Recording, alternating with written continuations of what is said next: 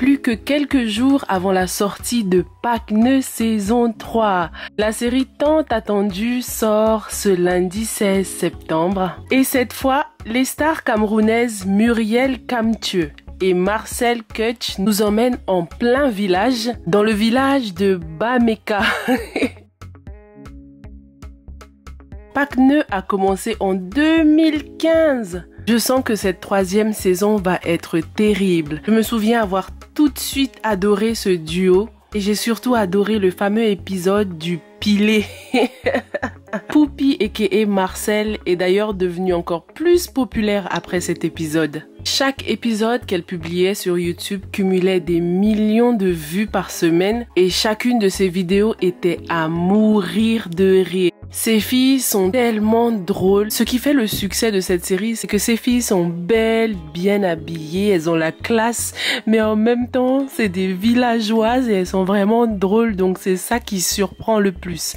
Cette fois, dans la saison 3, elles nous embarquent donc pour des aventures à ce tordre de rire. Donc apparemment, quand on regarde le trailer, on dirait qu'elles ont atterri au village parce qu'elles étaient endettées. Donc pour fuir les dettes, elles ont dû déménager au village et c'est là que les problèmes vont commencer. Plus d'argent, plus de brésiliennes. Il va falloir se faire une place au village et se faire de l'argent surtout. Du coup, elles vont devoir trouver du travail. Moi, j'ai trop hâte et je vais vous faire plein de revues sur cette série. Dans ce thriller, on aperçoit même Mitumba, donc le fameux producteur de la série La Reine Blanche qui a eu un énorme succès aussi. Dis-moi si tu connais La Reine Blanche. L'année dernière, ça sortait sur YouTube tous les dimanches D'ailleurs, le mois dernier, Muriel Blanche a sorti son film Shinanigans. J'aurais adoré te faire une revue dessus, mais apparemment ce film n'est disponible au Cameroun pour l'instant.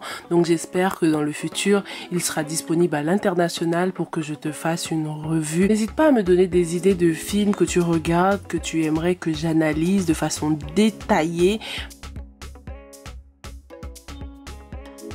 Ce qu'on adore avec les Go c'est qu'elle démontre très très clairement, donc sans filtre, la culture du Cameroun. Et on adore ça.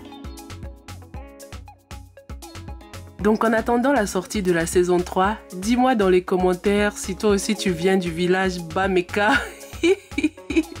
Moi, je suis camerounaise anglophone du côté de ma mère et son village, c'est Upper Ballon. Upper Ballon. Representing.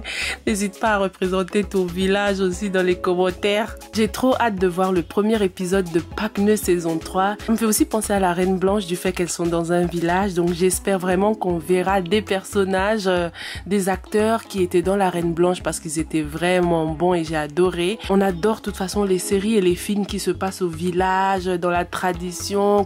Dans mon enfance, les séries Nollywood qui se passaient dans le village et puis qui parlaient de la royauté et tout ça, c'était vraiment mes préférés. Merci à Muriel et Marcel et à tous ceux qui sont derrière euh, Pacne saison 3 d'avoir eu cette bonne idée de tourner au village. Franchement, je trouve ça ingénieux. Je pense qu'on va bien rigoler encore plus avec cette saison 3. J'ai l'impression même qu'elle sera la meilleure de toutes les saisons.